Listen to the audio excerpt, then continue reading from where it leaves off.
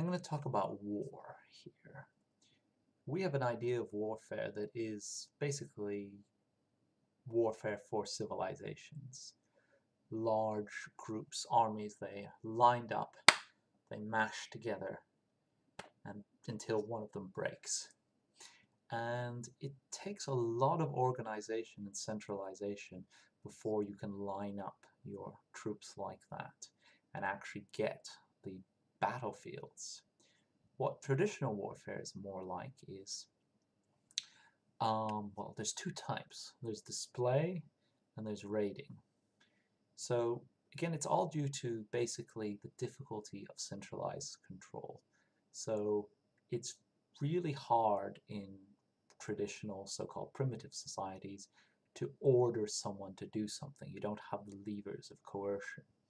So it's a far more egalitarian and disorganized um, affair. So you get two types of warfare. You get display.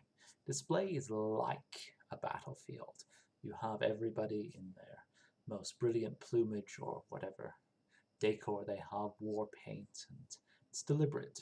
You want to look impressive and they line up and it's really aggressive, impressive. Maybe you can see some of it in the haka of um, the Maori. There's traces of the old ways.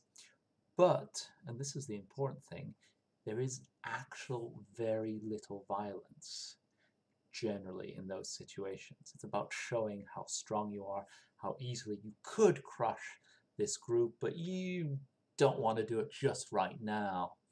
And there's a sort of intricate and almost instinctive um, advancing and giving way so that no one is clearly humiliated and no one is overwhelmingly winning, but everyone can show just how strong they are. Even if you move a bit forward and you get the more centralization or even, say, feudal systems where you can coerce the soldiers forward, um, that's basically, you need agriculture before you get that type of organization. Even in those situations, very few people will actually, everybody's waiting for the person next to them to rush in and then they can follow maybe.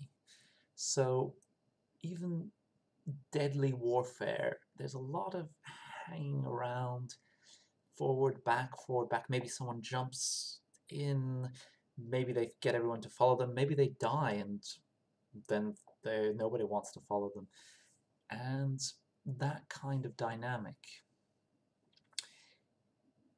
as I say, it's only when you really get modern, strong, not modern, but empire, the sort of the professional trained army that, that obeys orders that you get the real clashes that we associate on the battlefields today.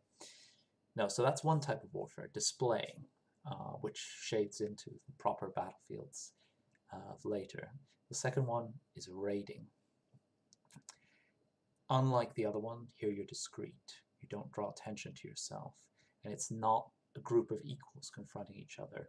It's This is the main form of traditional warfare. You come in a group, you rush in to some undefended area or less defended area, you find someone separated from the main group, kill them, burn, steal, and get out.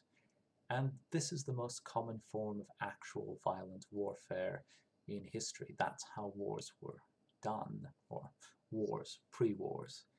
So basically, you never would have a fair battle of equals. You'd have displays of equals and battles of large groups against small ones. And if you can reproduce this dynamic with your players, it could really get interesting. Now, maybe they're not used to it. Maybe they, if they're displaying, they might be willing to rush forward. So I would recommend something like starting with everybody there is much higher level than them. They're the beginners, the boys or girls, depending on if your culture is um, well sexist or not. And everyone else is a much higher level. And then they sort of notice that no one really comes to blows, or if there is a coming to blows, they tend to separate pretty quickly. So they're not going to rush in and start decking out with much higher level uh, NPCs, and neither is the other one. So you can have this tense battle, maybe with a few blows here and there, a spear that falls short or that doesn't fall short, and interactions like that. A very tense situation that looks as if it might turn into a bloodbath. Because remember, everyone there could easily kill them. They're a much higher level, and then doesn't. And then you get the raiding thing. Now, the raiding from the raider is easy to explain um, and do.